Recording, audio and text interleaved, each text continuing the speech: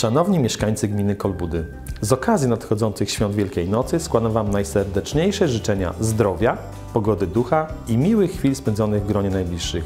Wielkanoc to czas otuchy i nadziei. Niech te święta przyniosą radość oraz wzajemną życzliwość. Napełnią Was spokojem i wiarą na lepsze jutro. Niech dadzą siłę w pokonywaniu trudności i pozwolą z ufnością patrzeć na lepszą przyszłość. Wesołych świąt!